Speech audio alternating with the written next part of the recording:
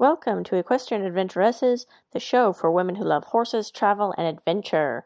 In today's episode, we talk to Jane from the UK about her adventures traveling the world on various horse riding tours. Jane is 61 years old and retired, and she shares with us her best and worst moments on riding trips abroad. She's ridden in countries like Bosnia, South Africa, and many more, and gives us a lot of really great tips on how you too can travel abroad on horse riding vacations. She also talks about helping out horses in Egypt and how you can also help save the horses there in Egypt. Before we get started, I just wanted to mention that this is the first episode of our second season, and a lot of exciting changes are coming. Firstly, if you love the show, please, please leave us a review so I can give you a shout out on the show.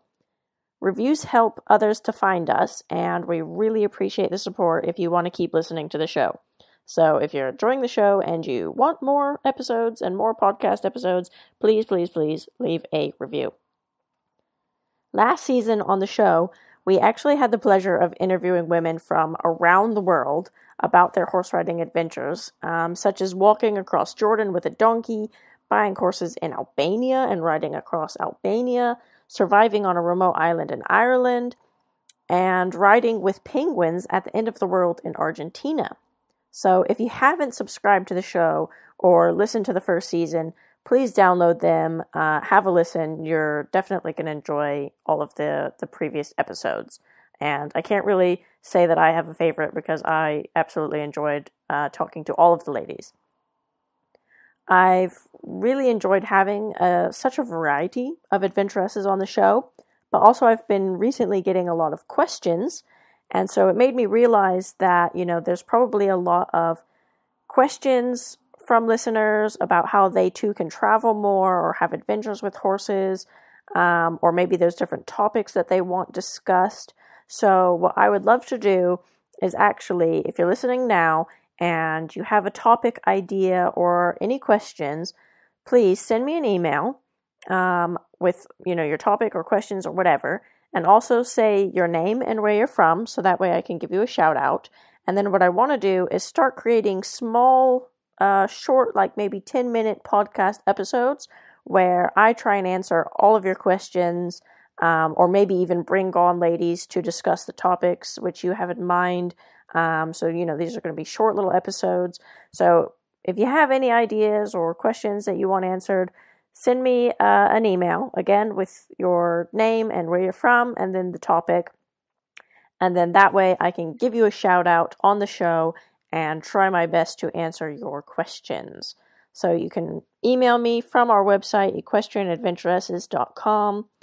And yeah, that's it for now. So cue the theme song.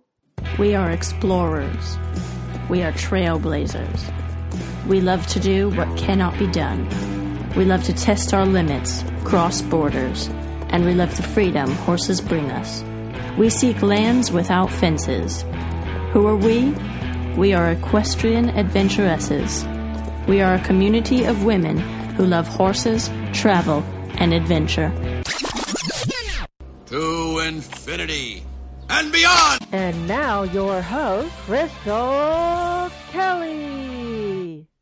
Hello, adventuresses. I'm talking to Jane. So, hi, Jane. I would just love it if you could just introduce yourself and just give a little bit about your background of where you're from and what kind of horsey background you have.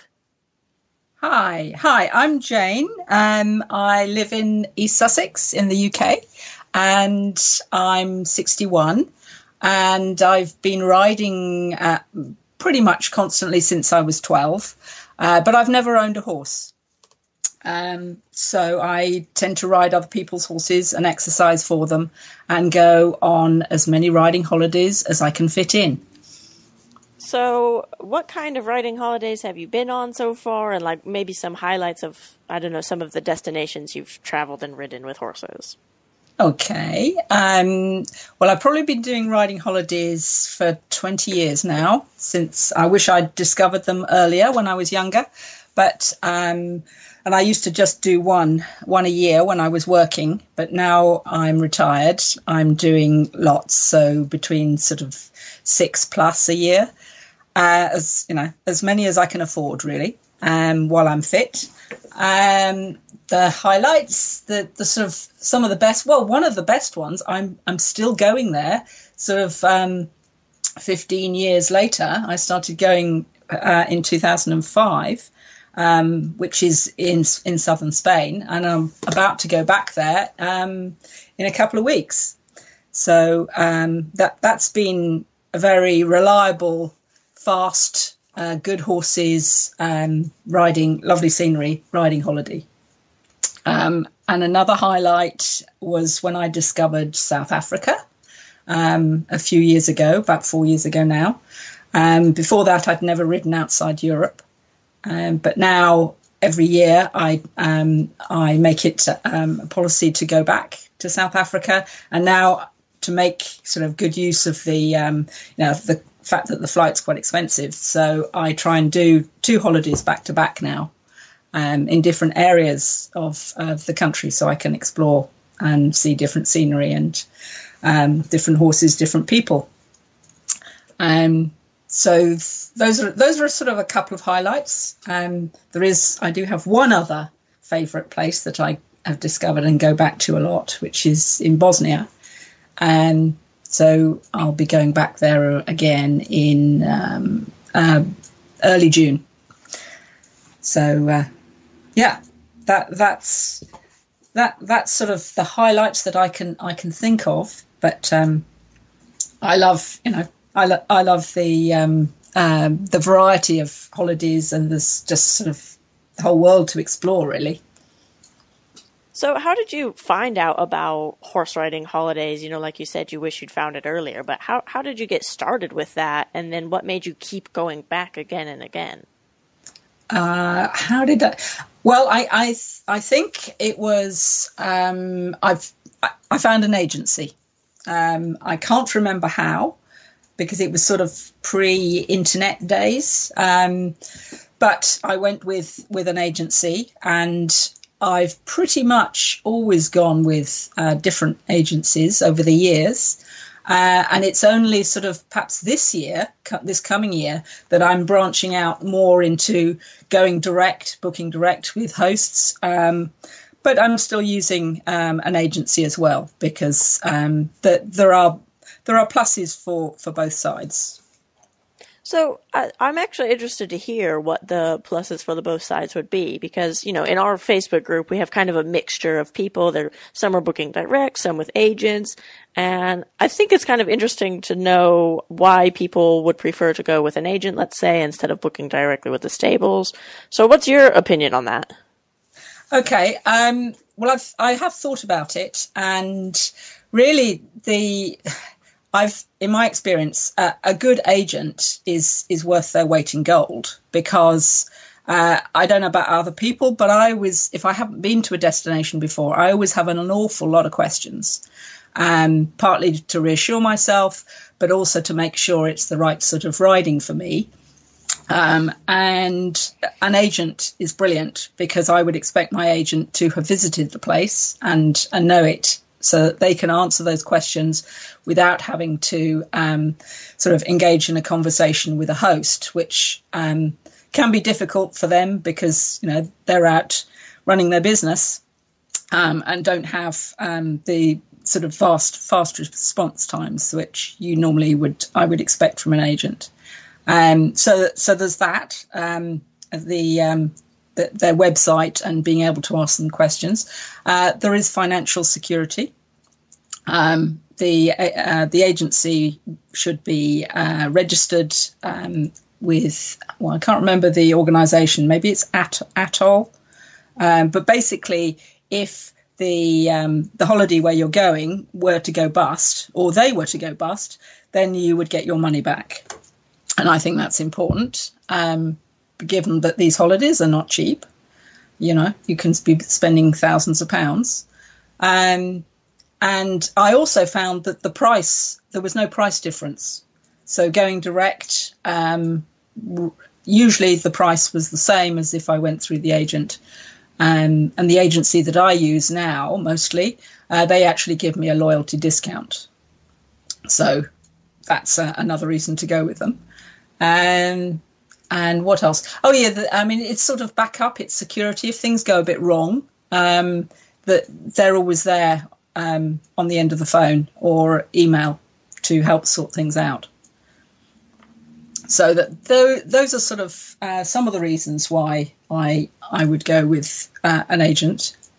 Um, and oh, also an- another reason is the because I, I'm sort of quite specific about the sort of riding that I want. Um, the agent knows me now, um, so I'll just pick up the phone or drop a drop a line and say, right, I'm ready to book um, a holiday in X month or whatever. What what can you suggest? What's what I have what what haven't I done? Um, what uh, what's going to suit the s- style of riding I like? Um, so that that saves me having to wade through their website um, or do loads of searches online to find places direct. I mean, I must say your your Facebook page is brilliant. That that has put me on to holidays, so I'm now starting to book direct. Um, it's it's found me a travelling companion that I'm about to meet tomorrow. Oh, Uh, wow. We're going. We've booked a holiday together where we're booking direct. Um, Oh, where are you guys going? it, it was recommended uh, on your uh, on your page, so we're going we're going there together. Where Where are you guys going? Uh, that's Tunisia. Wow, that sounds amazing. Oh, that makes me very happy to hear that, that Yeah. Well, adventuresses yeah. exploring together because of my group. Yeah, absolutely. Yeah. Perfect. So I, I'm meeting Julie tomorrow um, in London because she lives up in um, sort of Nottingham area, quite a long way away. And um, yeah, we're going to meet up and hope that we get on. and um, and then we're looking forward to going off to um, Tunisia together a month later. That's great. And um, that's actually part of why I made Adventuresses was because I wanted to have this connection with other ladies. And there was um when I was putting together that catalog, you know, that lists all of the Yeah. horse stables in all the countries. You know, there's a lot of places in that catalog that you won't really find on the agents um, That's true. lists. And I always like to go to the the weird places, let's say. So that's that's very nice that you're that you're doing that. So you know, you and I were kind of mentioning this um, earlier today, not you know on the podcast yet, but you like to go on fast rides, and you know, uh, y- you like the um, speedier rides. You don't want just some nose to tail kind of trail. So, do you have any, I don't know, rides that you've ridden that were particularly faster than others, or share some of your stories or experiences Okay. with with that? Okay. Well, uh, the two of the favourites that I've mentioned already um, are that are favourites because they're fast riding. Um, so there, there's one in southern Spain, um, and there's the one in Bosnia. So you get a, you get plenty of really fast canters, really long canters, um, some galloping as well, and and the horses are really safe and uh, the terrain is is perfect for it, and it's just yeah, yeehaw! It's great, fantastic, puts a smile on your face. Yeah. Perfect. So I'm actually thinking about maybe moving to Spain just because even in my own group there's like so many people that are riding in Spain. So what are your recommendations? Is there certain areas that are I don't know having because I, know some areas are really mountainy and others are like beach riding. So what's some of your highlights of some of the rides you've done in Spain? Well, I, I think a really good area is the area that I like going back to, which is um, Andalusia.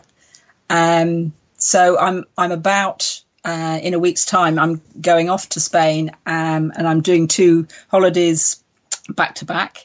Um, and the first one is in um, north of Jer- of Jerez, um, in um, uh, it's it's actually a dressage place, um, and I'm meeting up with some other girls who are coming. It's we're a real international group, and that's been put together by someone I met on Instagram, um, and she's put it together direct with the host, um, and recruited everyone through Instagram, and um, there, so that is on the edge of a national park, um, and they have a sort of um, there's another stable very close to them in the same town um, that I'm going to go and visit because they do more of the sort of the the trail and the day rides. Uh, she doesn't do holidays per se, but I've already spoken to her and. Um, she says it's if I can sort out my own accommodation and, and a car, um, you know, I can put a small group together and she could take us out for um, a different sort of day ride uh, every day of the week if we wanted to do that. So I'm sort of planning to do that next, uh, probably this time next year. Um, and as I say, that that's in a national park. So the going is is very um, in that area is very sort of it's sandy, um, sandy and f- sort of forested with pine trees. Uh, very beautiful. Umbra- um, what are they called? I always call them broccoli trees. They, I think they're um, the the pine nut pine, pine trees. So they they look like clouds, green clouds. They're very very pretty, and the going is always good, and the the weather is pretty good all year round. Um, and in the second week, I'm going a bit further south, um, nearer to the coast, um, and going back to one of my favourites, as I said, that I've been going to for 15 years. Um, and there we'll we have uh, beach gallops. So I always time it um, for when the tide is right for, for the best gallops. So I know that I know the question to ask uh, the host because that that's one that I've always booked uh, booked direct, although they do um, go through a, uh, agencies as well. So um, yeah, I, w- I would definitely recommend you looking at um, and parts of Andalusia. And if you like beach riding, um, then obviously the coastal areas with the the national parks. Perfect. I, I'm definitely going to do that because I'm uh, I'm actually Californian and I miss having palm trees. there wasn't any Ah. palm trees in England where I was living, so I'm excited to have palm trees in my life again. Yeah, well, you- you'll get one or two of those in, Yeah. in, in southern Spain. That's for sure. Perfect. And so you've been going to the same ones again and again, which I think No, is ah, no, No? Um, there are very few places that I'll go back to. Okay. I go, I go to way more places than um, ones that I go back to. Okay. So what is it that you're looking for then when you're looking for a new destination? Is it just, you know, a place that I haven't been to before, let's give it a try or what's your criteria when you're shopping? Uh, okay, um, so my tick boxes, um, the questions I always ask are about the pace. Uh, is the terrain suitable for um, plenty of varied pace? Not always cantering, but I, you know, I like trotting too. Uh, but I don't, I definitely do not want to walk for hours or even sort of an hour at a time because I find it just breaks my body. I mean, I just get so sore with walking. Um, and I do tend to suffer from saddle sores, so I have to be quite careful.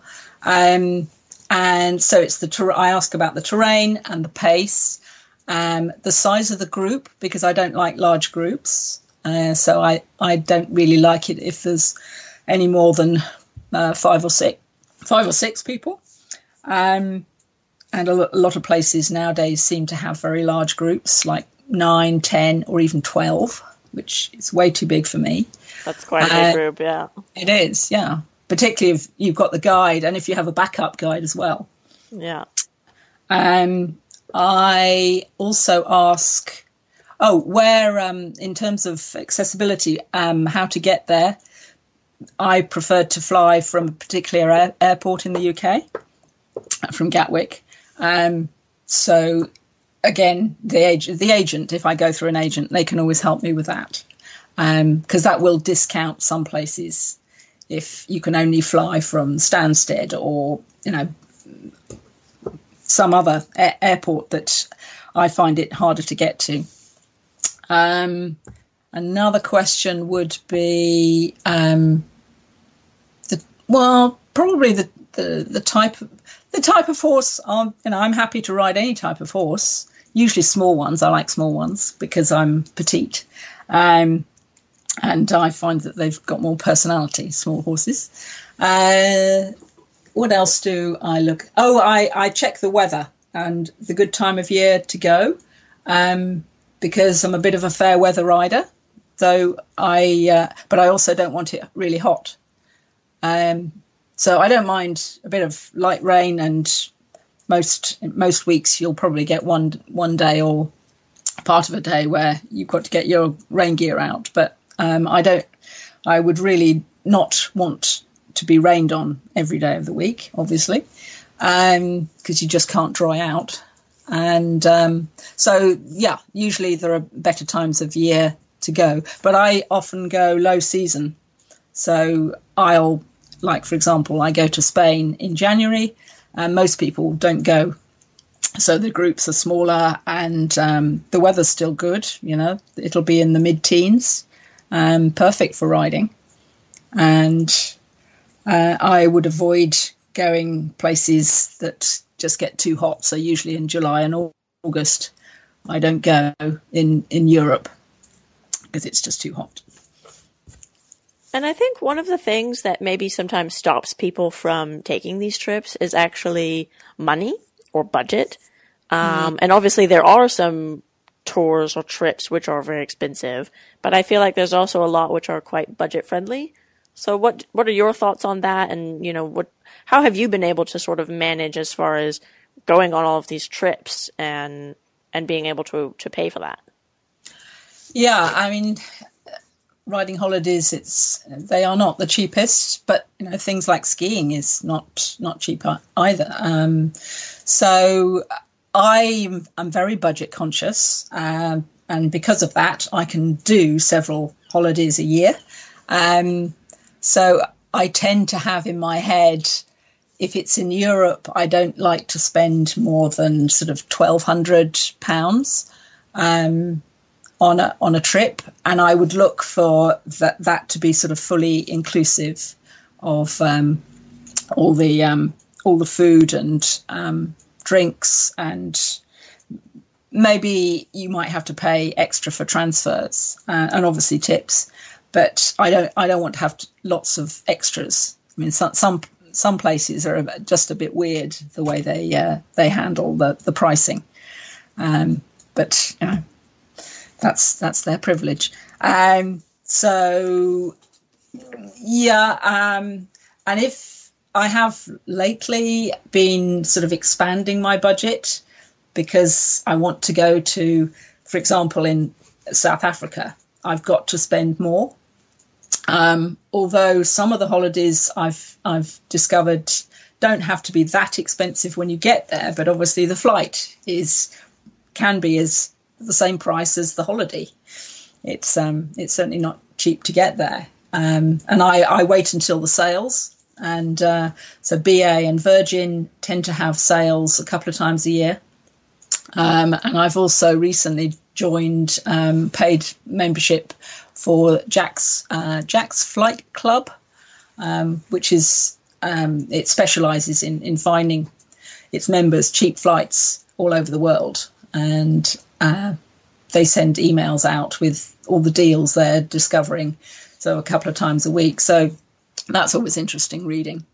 Um, so and and I'm now booking quite a long time ahead. So I'll book the holiday, but I won't buy the flight until the right deal comes along. So that that sort of can save a bit of money.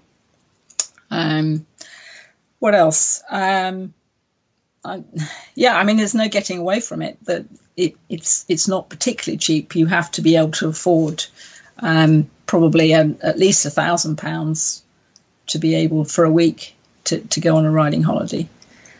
So I, I that will discount um, the um, yeah it'll it'll stop some people from being able to go. I'm sure. it's um, worth it. yeah, oh, well, it's it's it's worth it. Yeah, I know. But if you if you're not very experienced and and you're a bit anxious, and and then it's the cost as well, it, it can be a bit daunting. Um, I mean, I I regularly travel on my own now, and I don't really worry about it. And quite often, lately, I I've ended up being the only guest. Um, that that's not quite so good, being the only guest. I mean, in, in the day, it's absolutely fabulous because it means that you can have exactly the ride that you want, and there's no, you know, no quibbling about the horses. Because I, again, I like to change horses and ride different horses for the variety. Um, so I get to try lots of horses, and um, but in the evenings after the host has gone, that can be a bit lonely. So yeah, I have to make sure that if I know I'm going to be the only guest, I'm I take uh, I take a book, I take my um, Zentangling, which is one of my hobbies, and I have a few um, films or programs downloaded on on a tablet, so I can I can look at that as well. So I keep myself occupied, and it's and it's it's always worked out fine. I've always enjoyed it. So, can you share maybe a, a story or two of I don't know, maybe a moment or a adventure that you had where you thought, yes, this is exactly why I'm doing this? Ah, well, last year, um, my favourite moment um, or favourite day, and it made oh, I was just I was just so happy by the end of it. Um, I I went to I was in South Africa I was on my second holiday. Uh, it was a place I hadn't been to before. It was um, um, Cape Winelands um, in uh, near Cape Town, and I was asked because I was the only guest for the whole week, and I was asked by the host uh, if I would like to go drag hunting. I've never been drag hunting before, and um, I said, hmm, yes, okay, I'll give it a go. Because obviously he wanted to go, and so and so did um, um, a member of his staff. Um, so if I'd said no, they wouldn't have been able to go. And so I I I picked that one up, and I thought, nah, give it a go, Jane, give it a go. they reassured me that I would be fine. and I'm so glad I went. It was abs. Oh, I've never been so happy on a horse. Oh, it was fantastic. I was riding a little pony, little red roan called Olympia, who was a rescue from um, the township. She'd been a cart horse, skin and bone, with a foal. And um, they had rescued her and um, brought her brought her back and I mean, she was such a willing little pony. She was fantastic. And she wasn't a jumper. She hadn't, uh, she, she'd, she'd give it a go over the little, tiny little jumps, but she wasn't, um, at that point, she wasn't really a jumper. I, I believe that they're giving her some lessons for me now because I'm going to go back.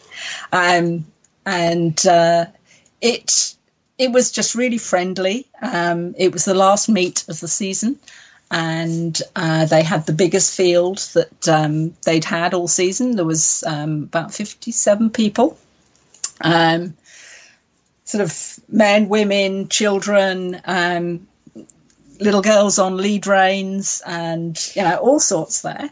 And you you go off. There were were sort of three groups they asked there was the sort of the really forward group there was a middle group and and a slow slower group at the back. Each of them had their own sort of person in charge and you you didn't go past that person. And um, i actually ended up in the first group but at the back of the first group because then i didn't have to worry about holding people up and people coming up behind me. So that that proved to be the perfect position. It was quite fast but I, I didn't have to worry about crowds of people around me. And uh, uh, it was it was on a sort of a private estate, and they had built the jumps specially out of natural, you know, logs and things like that. And they were all very small jumps, and they were to one side of the track. So you, you were sort of uh, following a. Um, there were legs. I think there were six legs, each of about two kilometres, um, and you basically were cantering for that for a, that whole two kilometers. And then if you wanted to you could pop over these little jumps to the side. Um, and it was really really deep going. I was a bit concerned about how deep the sand was. Um, but olympia was game. She was not going to give up. She was okay she wasn't fast like the, some of the thoroughbreds there but she was not going to give up. She just kept going and uh, yeah, we had a fantastic time. And then um, after each leg, they they would have a break for sort of quarter of an hour, and halfway through they had some a buffet and um, some um, drinks, and we had a little longer break. Uh, and then at the end, when we were, had all finished, so that was about 12 kilometers. Um, we we all had a barbecue and uh, dance and disco, and it was just I was just so happy. It was fam- fabulous. It sounds like a lot of fun. I actually I haven't tried a, a drag hunt yet, although I was invited in Ireland a couple of times, but I, I didn't know if I was brave enough to attempt it. But oh, I think yeah, I think they they might be much much tougher.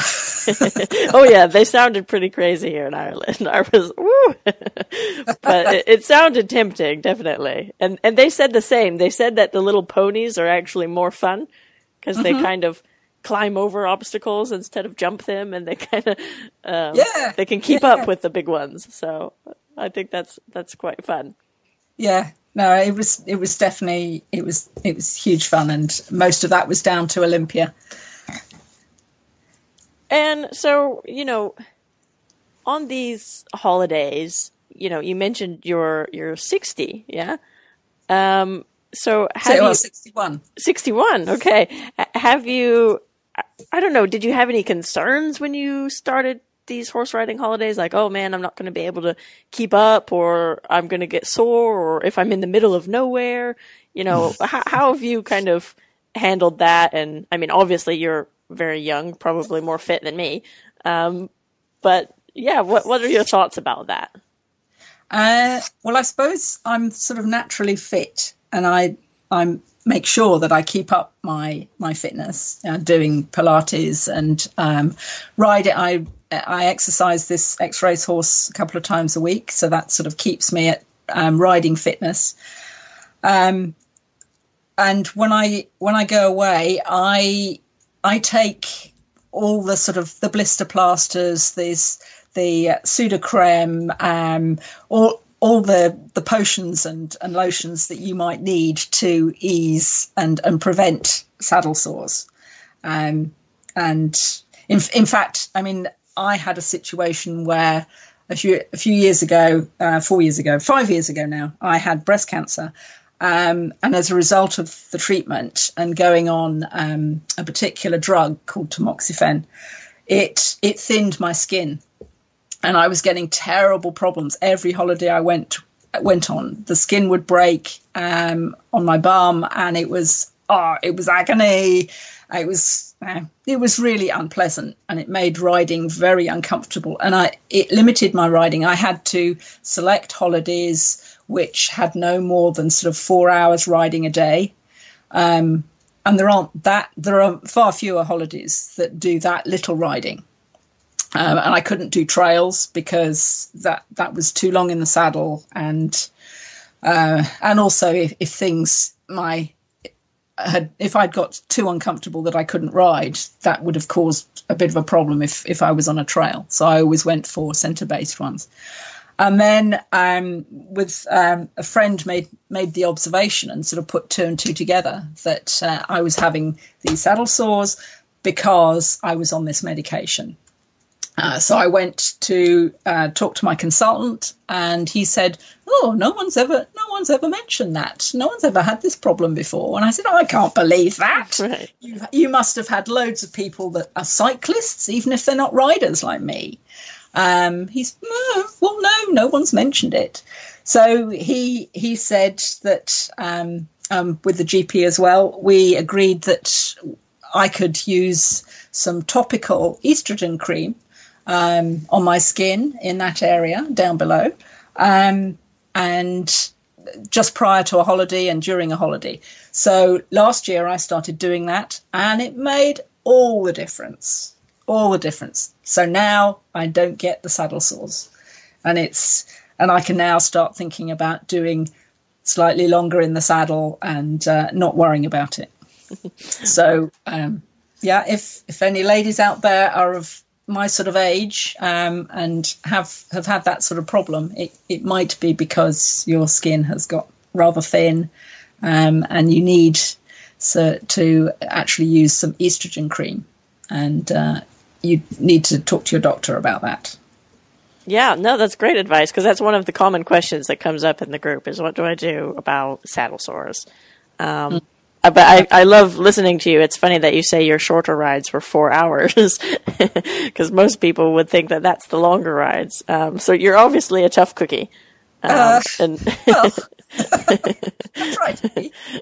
yes, but you know, it comes with being a horse rider. I think the stuff that that us horse riders do for fun, you know, normal people just wouldn't understand. Yeah. That, yes, that's yeah. I mean, if if you're not um, a sort of an experienced or capable rider, four hours in the saddle would be absolute murder. And doing it day after day, you just wouldn't survive, would you? Oh yeah.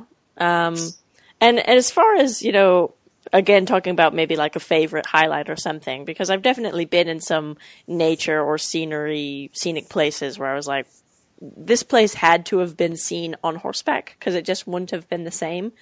Um, do you have maybe a special place like that where it was just more special because you were on a horse? Ooh, um, I think I might fall at the hurdle there. Um, there, I'm. I can't think. I can't think of it. I mean, I'm obviously when I'm most of the places I'm riding, you you could only get there on a horse because the, we're not using tracks. We're going along sandy paths, or um, I mean, I guess you might get there with a bicycle, um, but it would be pretty hard going. Um, say in, in Bosnia, we're going for miles over um, these beautiful meadows with uh, spring flowers. That's why I want to go back in early June again, because uh, the first time I went there was at that time of year, and the flowers. It was absolutely stunning, uh, and it's it's it's a very high plateau. Uh, it's at about 1200, 1200 meters. Um, it's surrounded, it's ringed by um, mountains, but you've got this enormous um, meadowland. Uh, it goes on for miles and kilometers and kilometers, and um, there are no fences, and it's it's not. There's obviously no insecticides, and they they just use it. They seem to use it for uh, pasture and for making hay, and um, so there's all these beautiful flowers. That that was just stunning. Um, and we're just sort of wandering through the middle of these fields. We're not even following uh, tracks. Uh, we're finding our way through um, through these sort of wild meadows. Uh, so you definitely couldn't get there by uh, by car and even a bicycle. As I say, yeah, it would be pretty tough going. Perfect. And so I want to switch it a little bit and ask the more difficult question, which is, you know, have you had situations where it, you've come across some challenges or some difficult situations, and then what did you do to overcome that, or maybe what advice do you have for others um, to prevent that, or if something like that happens? Um, yeah, well, yes, I have had a couple of uh, bad incidents. In fact, very recently, one um, last year and one the year before, uh, for different reasons. Um, the the one, the first one was where the uh, it was in Portugal, and it was a, a dressage and and hacking combo, and um, the the host was uh, very inappropriate with me, uh, got me drunk, um, and was um, just came on very strong in a bar. Uh, I'm so grateful that I had two friends with me because, as I say, I was drunk and I wasn't really um, coping, and I actually got quite scared. And they they just sort of took care of the situation and make sure made sure that I got home safe and then looked after me when I got back.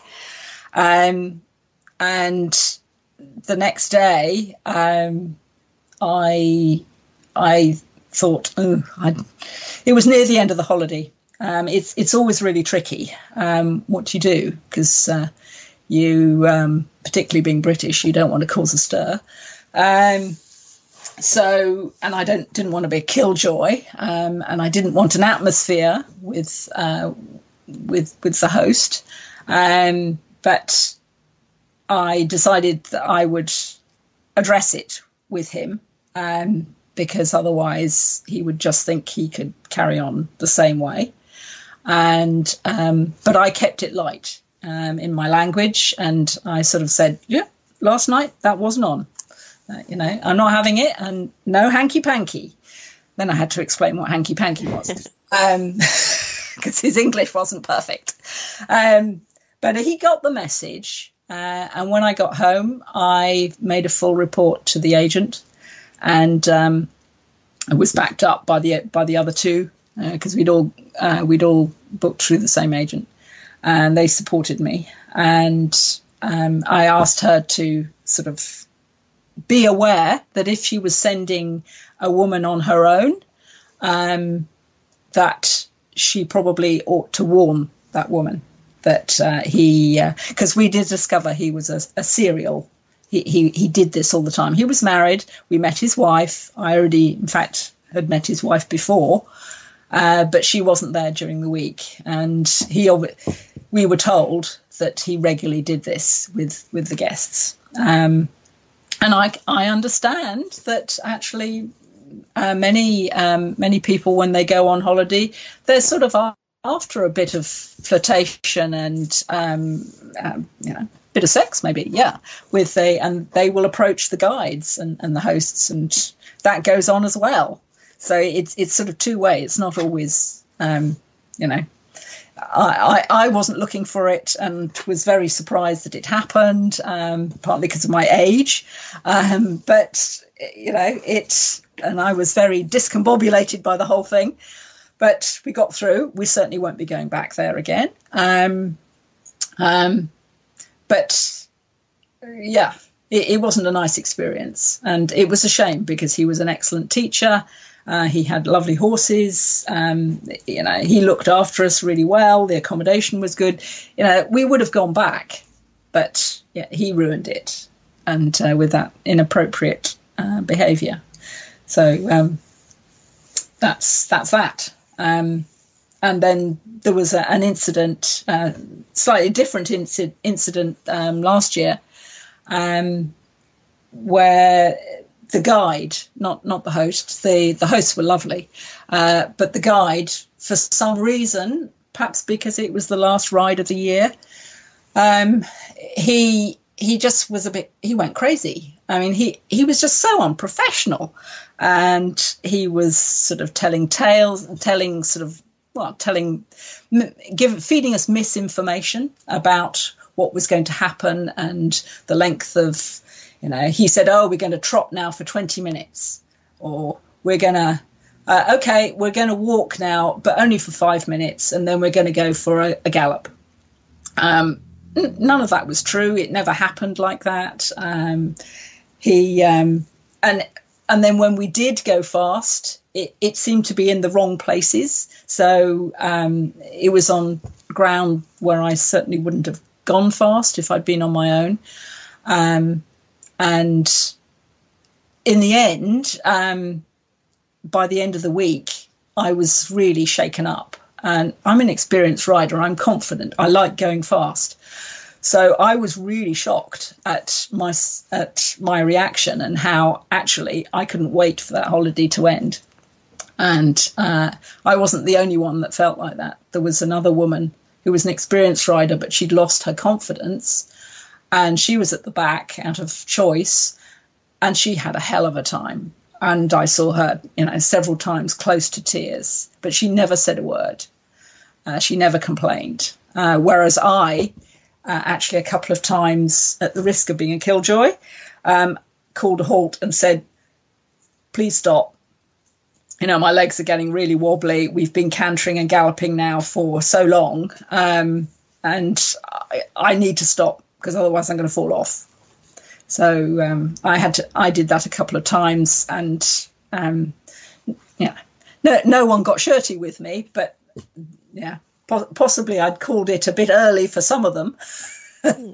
um, but I ha- I I have to look after my safety, and uh, certainly I didn't want to come off at a fast pace and um, and then have my horse fly off and all that palaver of getting it back and maybe injuring myself. So yeah, I I I wasn't happy. Um, but I handled that one differently. I I just felt that I, I couldn't say anything at, at the time.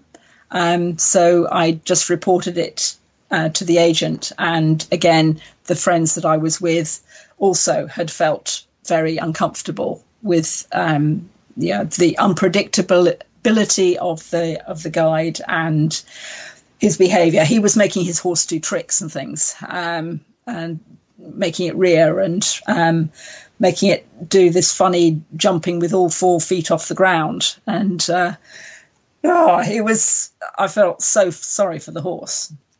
Um, poor little thing. He was every time he we came to a stop, it was trembling, and um, but it always did. He could he could uh, get it to do stuff just with voice commands. He was, um, you know, he, he was he wasn't a bad rider. He just was a show off. He was acting like a little child, and um, I felt very uncomfortable.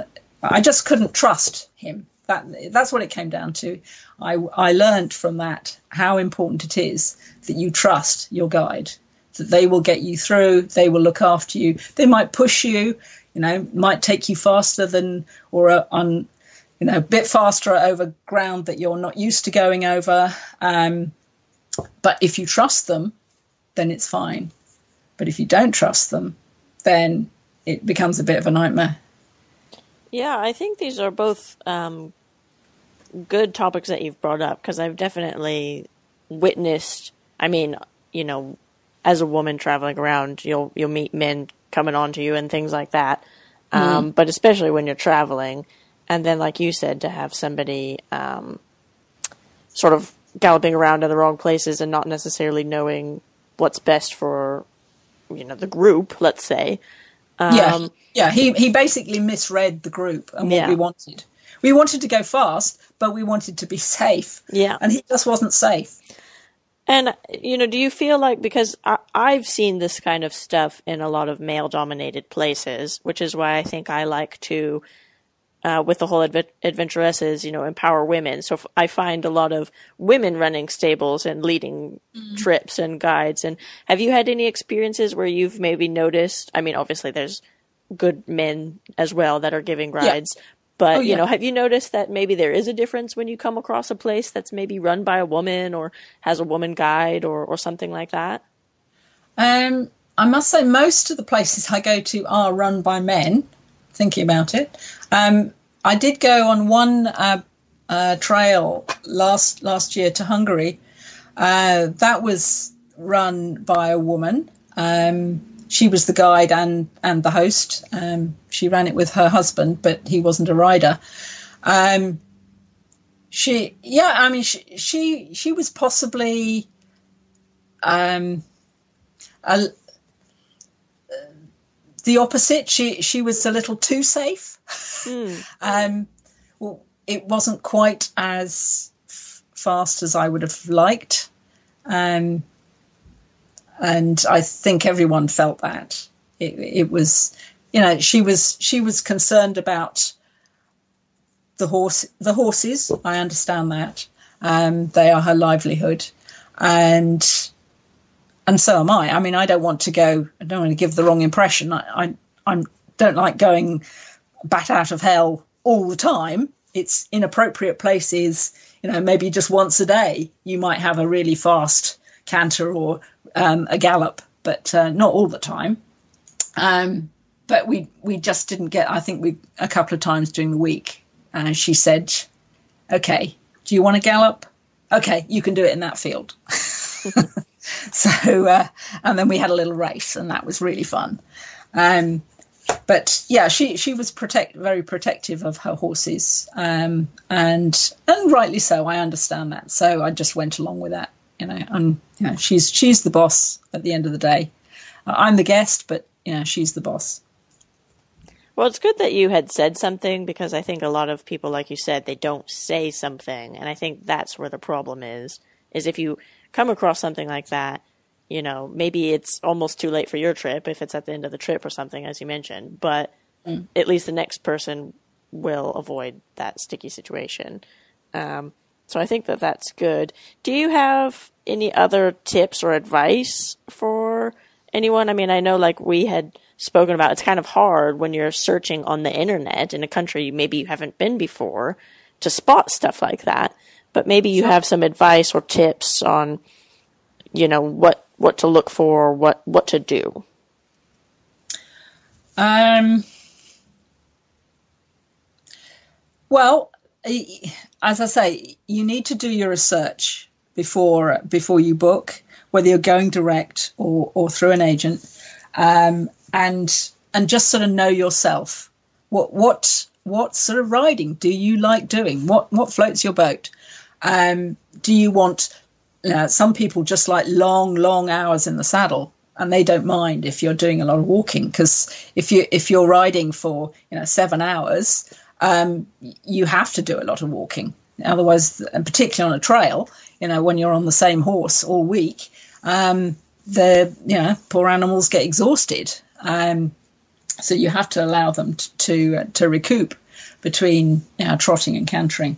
Um, what you know, what sort of terrain do you like riding in? Do you want to ride in in the mountains, uh, or do you want to ride much more on the flat, or do you want beaches, or, or you know? Uh, you, you, you need to put together a sort of a tick list uh, of what is important to you. Uh, what sort of horses do you like riding?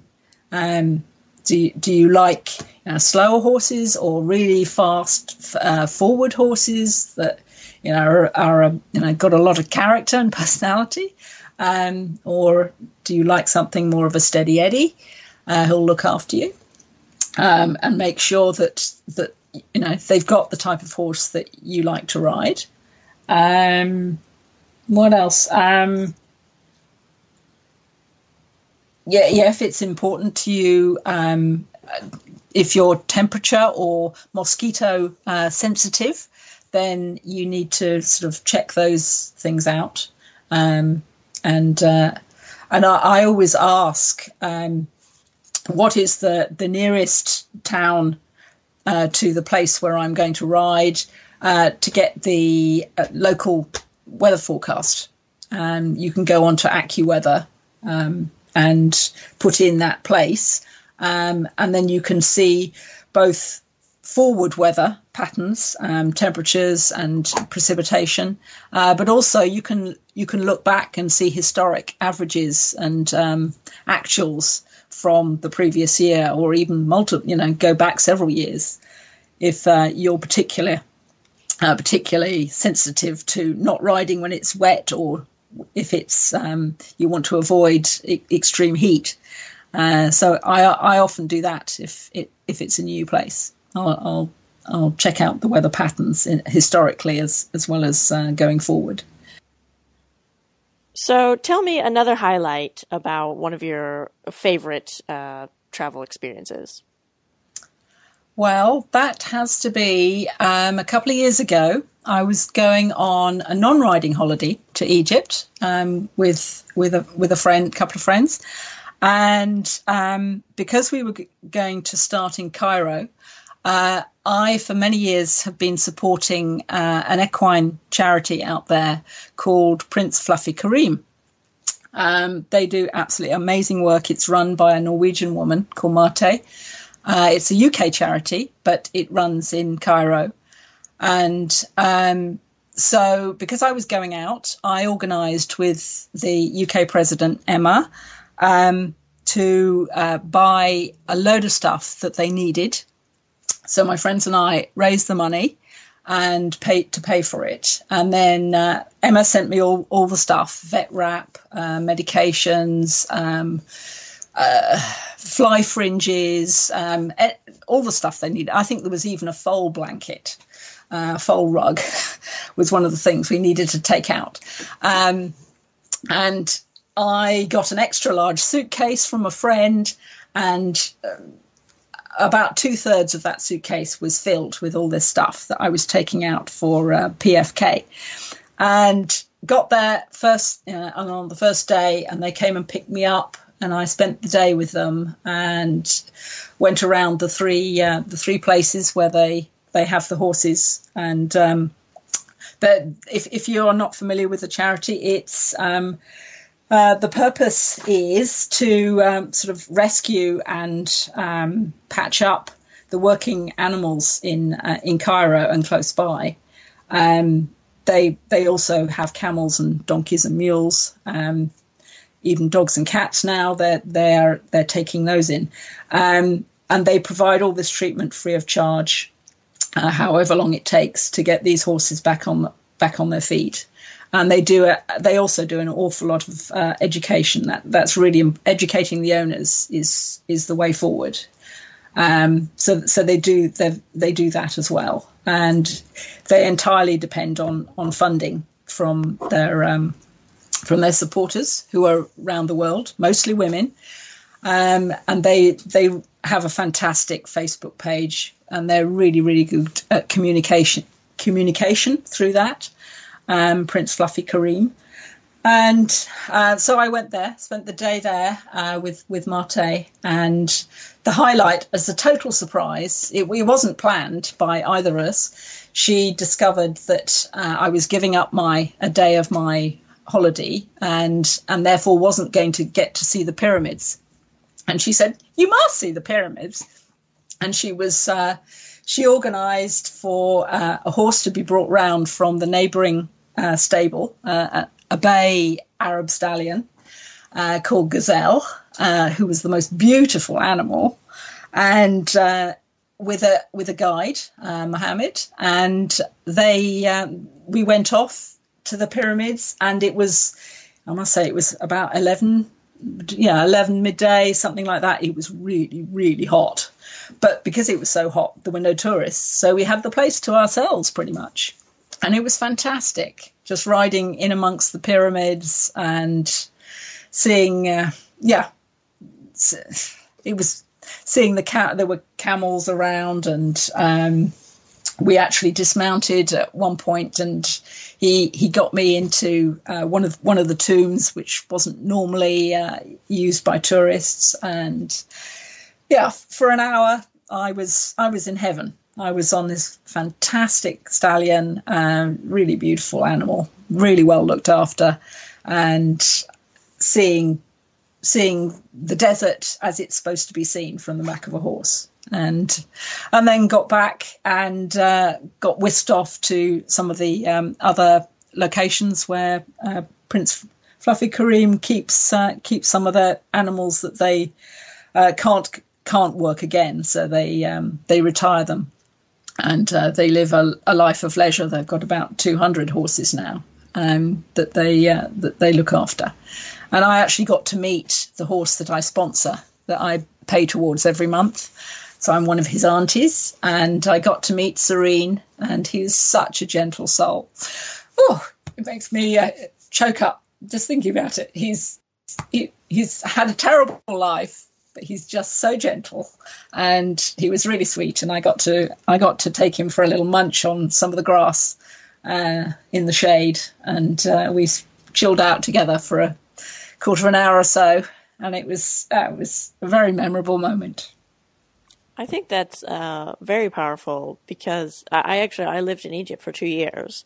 And the pyramid horses that's what we always called them. Yes. but the pyramid horses are always so skinny and like you said just dragging these carts up these ridiculously steep, slippery little hills with a yes. cart full of tourists in them.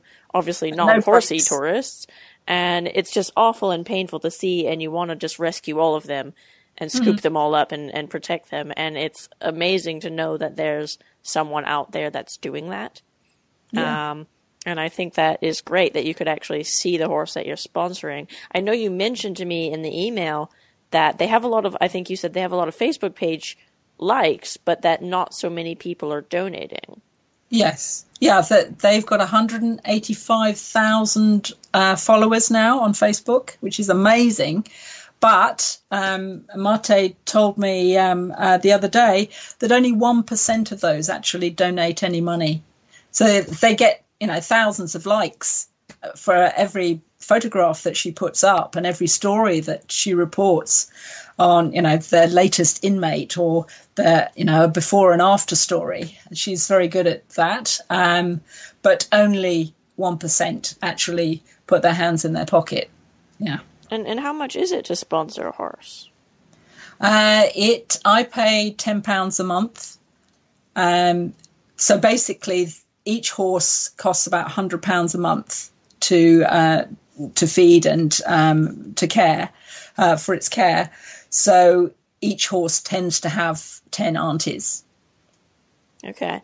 So for ten pounds a month, you can help these horses in Egypt. That seems like a pretty good deal to me. Um, Exactly. yeah. So I think I think that's a, an important thing to say. You know, you you have to take action. You can't just like the photos. Uh, You know, you have to actually contribute.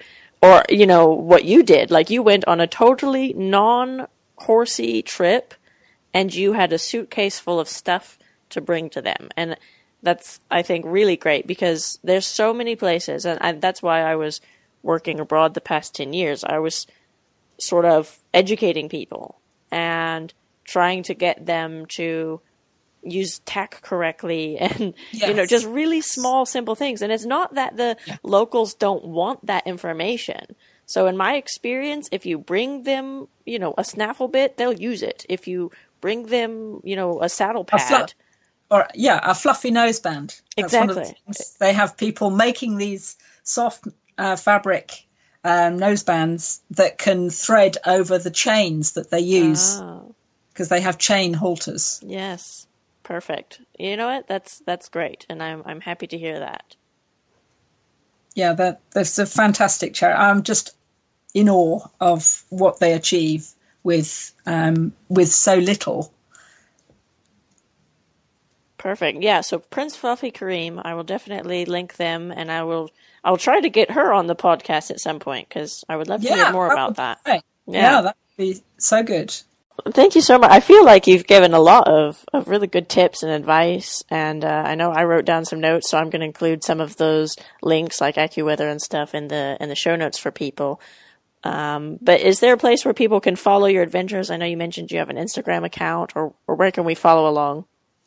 Uh, well, I I always when I'm going on my little adventures, I always sort of post the the best pictures uh, each day um, on both my Instagram and my Facebook account. Um, I am uh, Jane Lee, 1958. So that's uh, Lee spelt L E E. Um, yeah, Jane Lee, 1958 is uh, on both accounts. Perfect. And again, I'll include that so people can find you. I know I've shared some of your pictures because I definitely Yeah. enjoyed Yeah. looking at a lot of your posts. Um, so yeah, thank you very much for, for coming on today, and I really appreciate having you. It's it's been a pleasure. Thank you very much for asking me. You have been listening to the Equestrian Adventuresses podcast. Please subscribe to our channel and check out our website, equestrianadventuresses.com, for links to the show notes. Leave us a review and consider becoming a premium member for bonus episodes and footage. More information can be found on our website. Until next time, Adventuresses, happy trails.